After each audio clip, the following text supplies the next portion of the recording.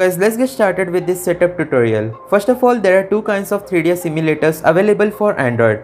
The first one is the official Citra emulator which is available on Play Store.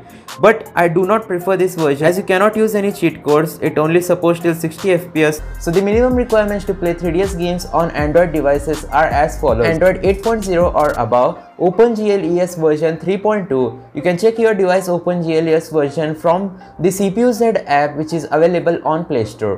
You will also need minimum 2GB of RAM, that's all you need to emulate an 3DS game on your Android device. And open the emulator and it will say this software will run games for Nintendo 3DS. Like if you want to play Pokemon uh, X 3DS game then you will have to have the Pokemon X 3DS ROM loaded onto your uh, device which I'll show you guys later on in today's video. So you just have to go ahead and allow it the permission to the folder where you have stored your 3DS games so you just have to select the directory and here you can see that your 3ds game will be loaded. Now to avoid any copyright claim issues i won't be using a gameplay of any nintendo game like pokemon x or y or something like that. I will be uh, showing you guys the gameplay of this 3ds craft. Now let's begin the best settings. So if we click on settings you will see a lot of options. So first of all we'll go to general and here disable this enable speed limit option and set the emulated CPU clock speed to so be sure to set it to maximum so that you get highest amount of FPS possible.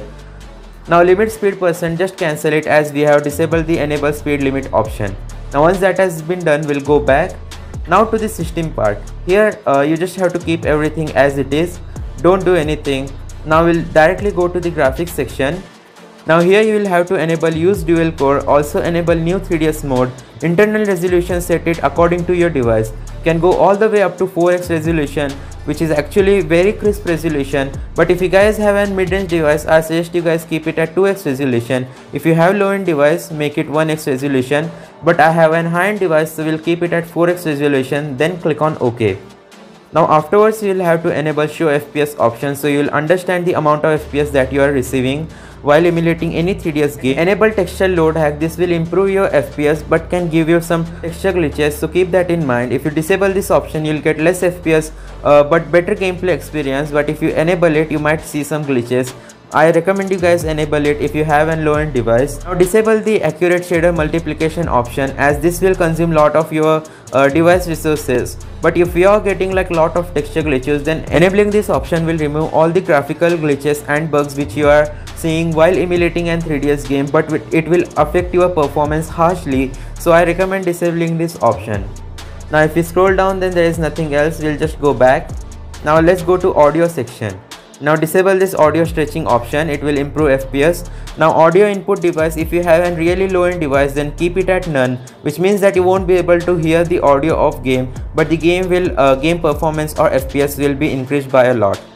Now once that has been done, now we are all set guys to play 3DS games on our Android devices. But sadly in Citra Enhanced Edition 2 you cannot add cheat codes at this moment uh, in the Citra Enhanced Edition Beta 3 so just keep that in mind. If you want to uh, add some sort of cheat codes or use cheat codes while emulating 3DS games then you will have to go with the Citra MMJ Android which is also really cool one of the best 3DS emulators hands down if not the best. Uh, I also have it installed right here as you can see. Uh, so this is the Citra MMJ Android let me just go ahead and turn on my laptop okay so this is the Citra MMJ Android. This is the new interface. Here you just have to click on add folder to library, select the 3ds games, click on use this folder, allow access and your 3ds game will be loaded. Now I'll show you guys the best settings of this Citra MMJ as well. So use dual core option, show FPS option should be enabled, internal resolution 1x, enable hardware shader, accurate multiplication must be off, shader type keep it at normal shader with cache, uh, you can also enable separate shader for more FPS. Now if you just go ahead and open post processing effect keep it at off as well. Speed limit percentage you have to keep it at 200%. Now afterwards you just have to scroll down enable the new 3ds mode. Now you can also choose themes but uh, you will have to load few themes. I'll make a dedicated video on Citra MMJ themes in future so be sure to subscribe.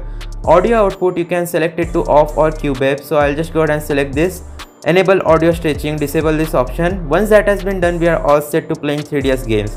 So setting up citra mmj is also easy. So now let's start with uh, citra enhanced edition. We'll see the amount of fps that we are getting. So i'll just go ahead and click on don't allow and click on ok So here we go guys, our emulator has successfully started and at the top left corner you can see that we are getting about 400 fps, it is capped to 400 fps uh, on my device at 4x resolution. So it's really quick and now let's try opening uh, the Citra MMJ Android and try running the same game.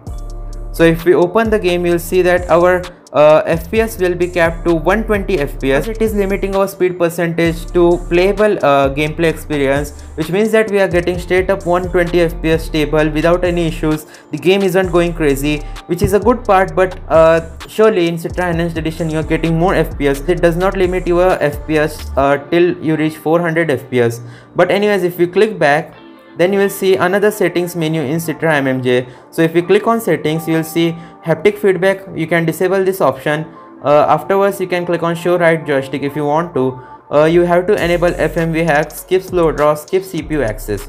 Resolution set it to 4x. Now it wasn't on 4x before when we were getting uh, 120 uh, FPS. Okay. So layout select it as large. Accurate multiplication is disabled now let's see guys okay yeah we are receiving about 120 fps cap uh, in citra mmj android and in citra mmj android you can also add cheat codes so if i just go ahead and click on exit game and if i hold the game then here you can see that we can add cheat codes in Citra MMJ Android. So to add cheat codes you basically have to find the game cheat code. For example if you want Pokemon X cheat codes then you will have to go to Google and search for Pokemon X Citra cheat codes and scroll down and get the list of cheat codes for Pokemon X and Pokemon Y. For example once you get the cheat code which you want to apply just go ahead and hold it.